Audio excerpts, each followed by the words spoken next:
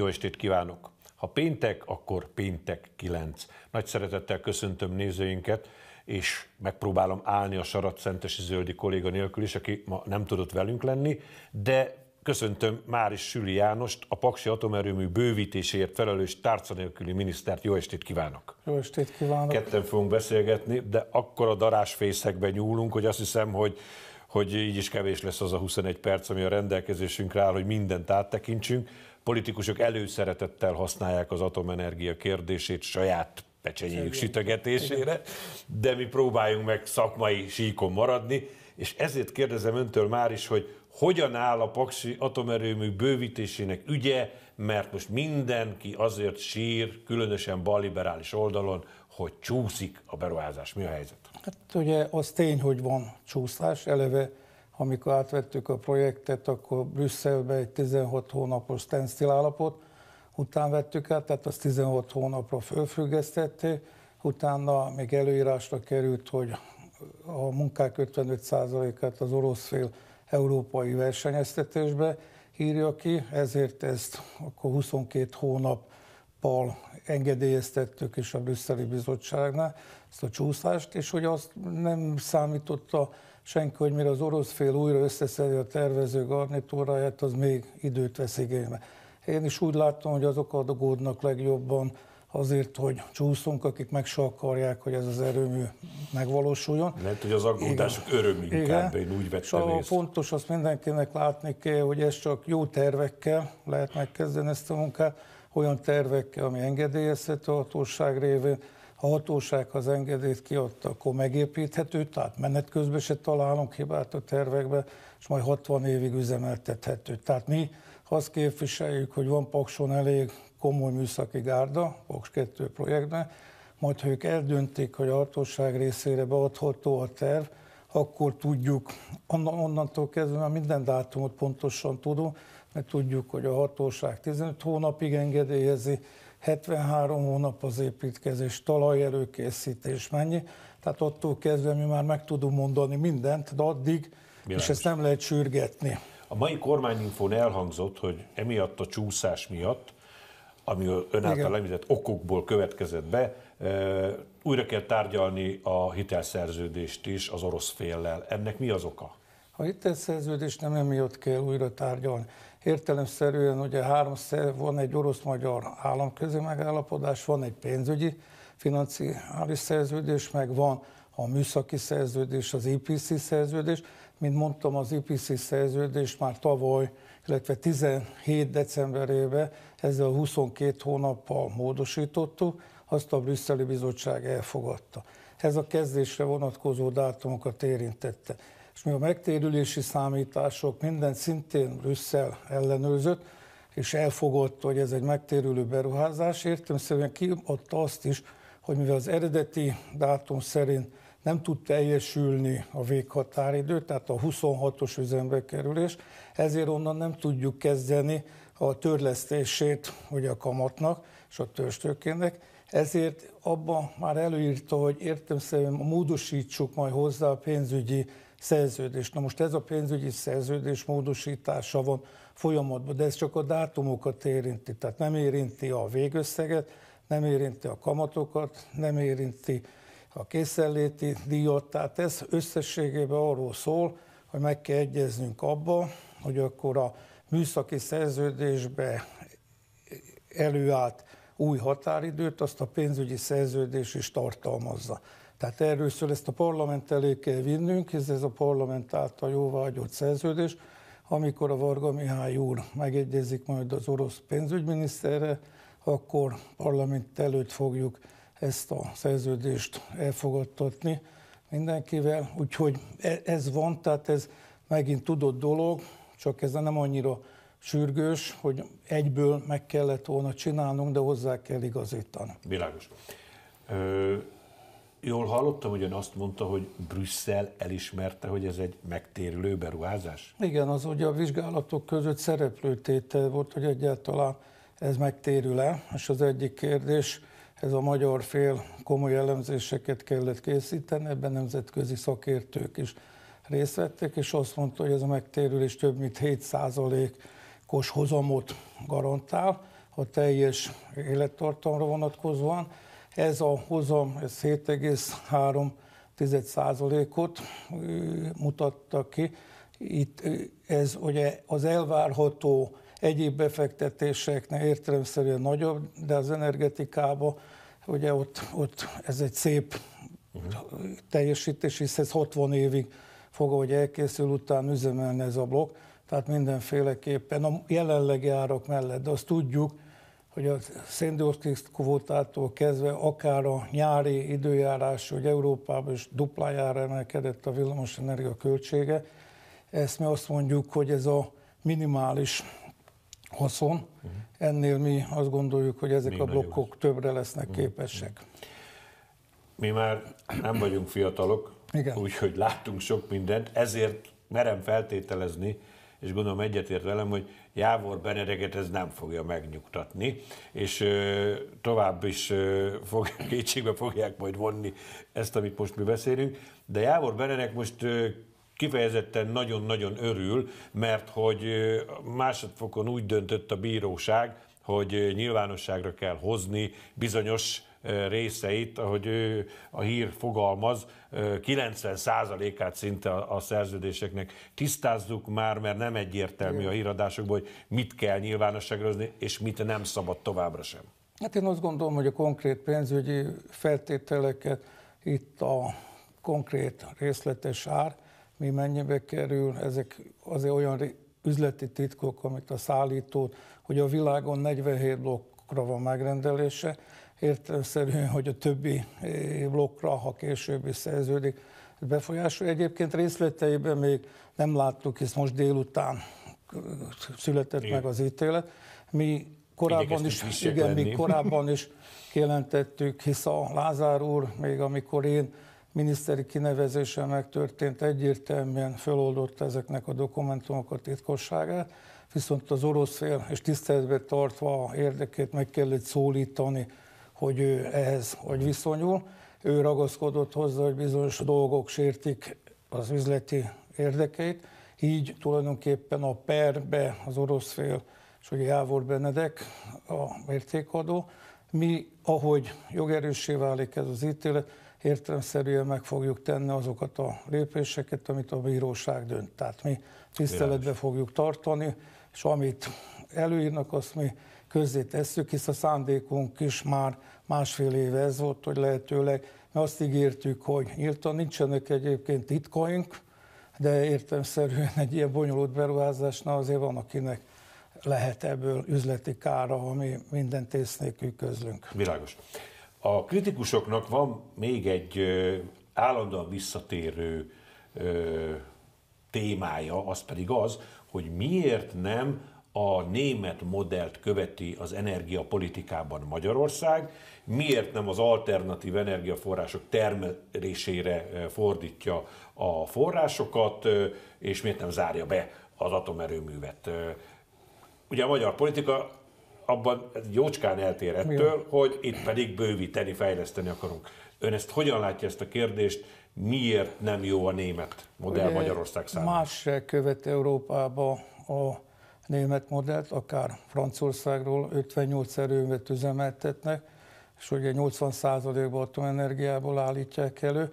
Ez országonként eltérők a gazdasági lehetőségek, a környezeti adottságok, meg a lehetőségek, hogy kinek milyen energia áll rendelkezésre. Magyarország például vízbe szegény, tehát nem tudunk se duzzasztani, se tározós erőművet építeni, ezért mi ezt az utat választottuk, hogy alapvetően a széndiokszid kibocsátással kapcsolatos célkitűzéseket úgy tudjuk tartani, ha atomerőmet építhetünk.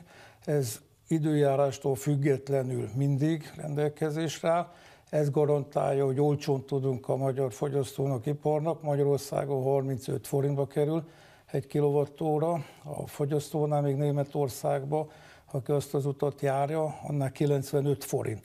És hogy azt is kell tudni, hogy Németországban tulajdonképpen ahhoz, hogy tudja mindenkor teljesíteni az energiaellátás biztonságát, tulajdonképpen kettős rendszer épült ki, megvan a hagyományos energiarendszer, és megvan párhuzamosan mellett a szél és a nap, de ez csak nagyon gazdag országok tehetik meg, mm. és az ára az energiának ez.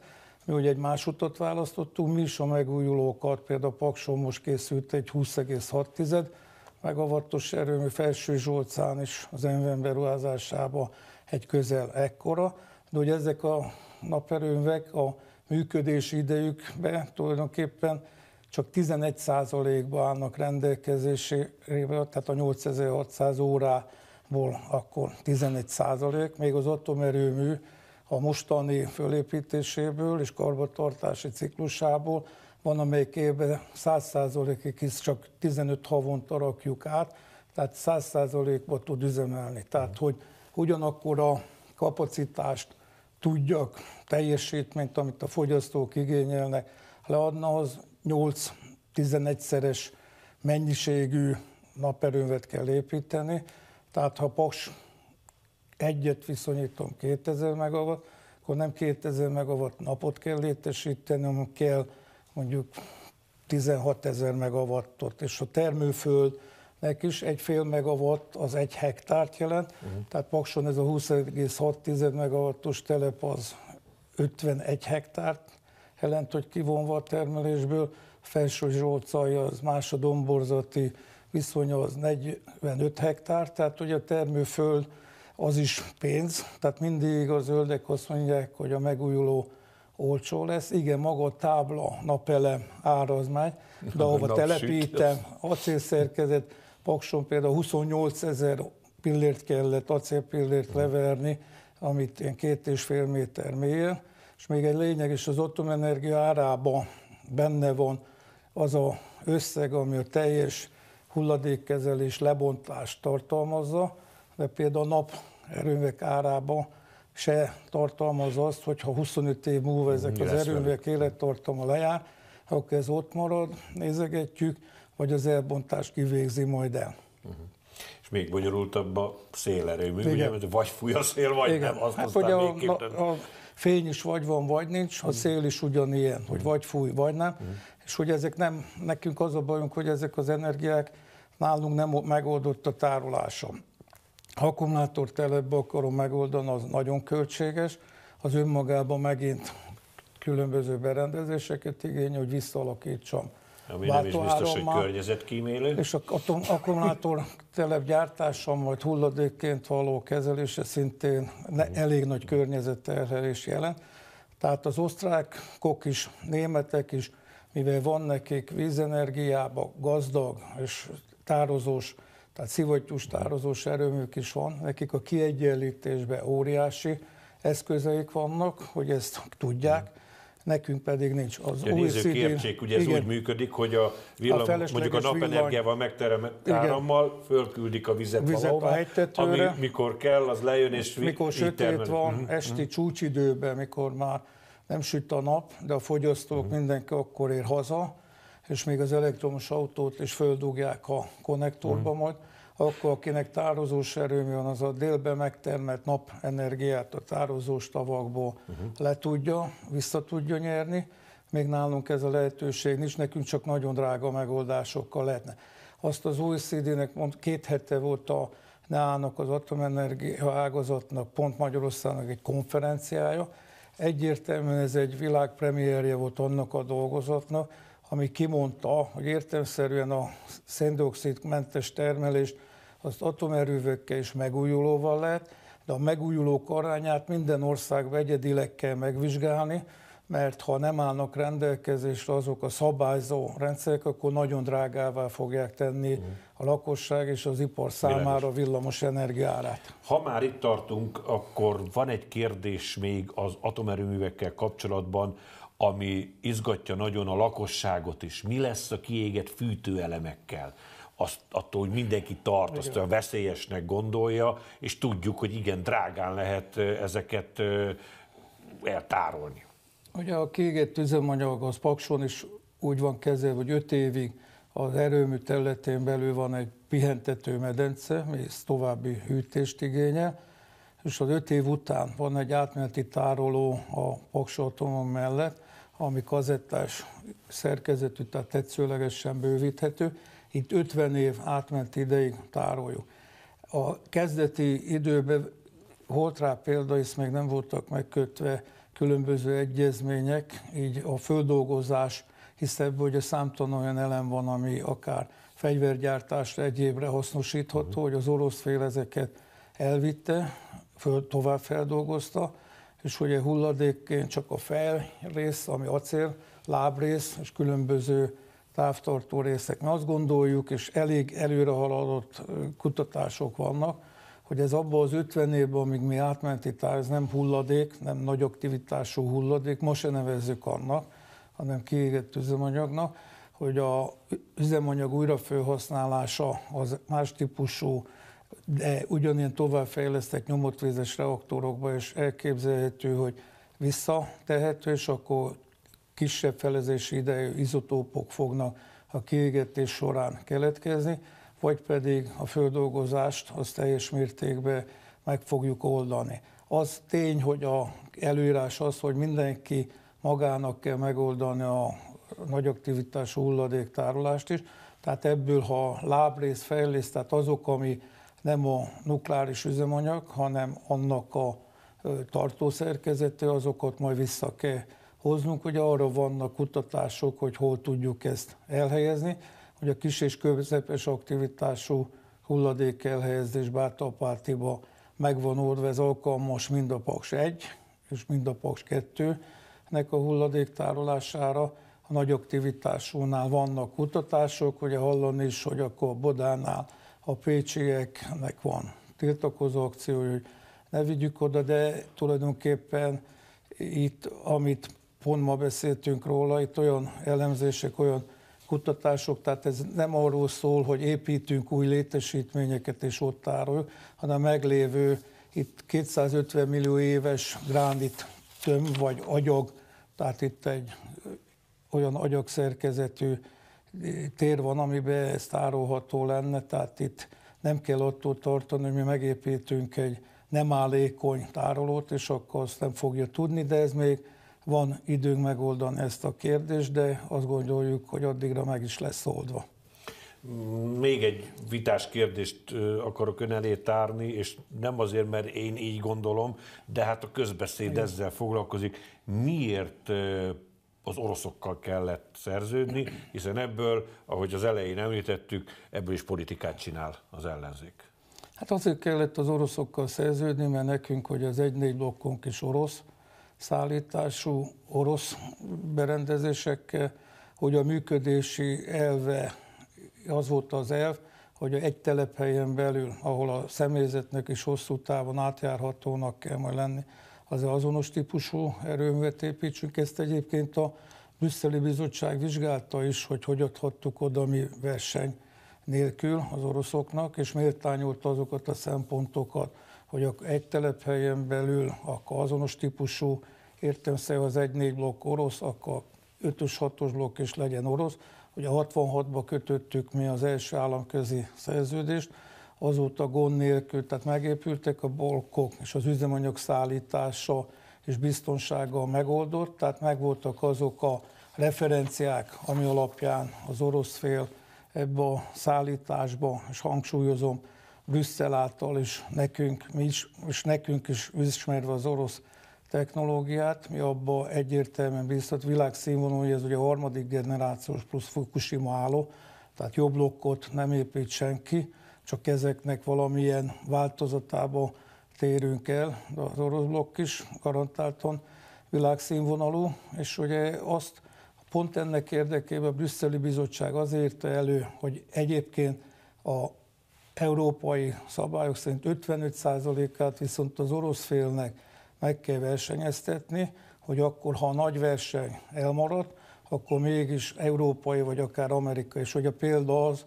hogy a turbina generátor egységet, ami egy 800 millió eurós szerződés, azt az orosz fél versenybe az amerikai francia konzorciumnak adta, aminek értelmszerűen a magyar lányvállalata pályázott, hisz aki Magyarországon adózik, magyarországi telephelye rendelkezik, ez még akkor a magyar beszállítási arányba is beszámolható. Tehát ezeket a mindenféle szempontot mérlegelve mi azt gondoljuk, hogy jó döntöttünk, és hogy az egy blokk is a világ legjobb 25 blokkjában mindig három blokkó minden évben szerepel, kivéve azt, ami nagy főjavítás van, hisz a két hónapig áll nem tud bekerülni a legjobbak közé, hát, amelyekkel rövid főjavítás van, vagy nincs, az mindig a világ legjobb blokkjai között szerepelnek. Így sikerült az orosz-magyar munkát végrehajtani.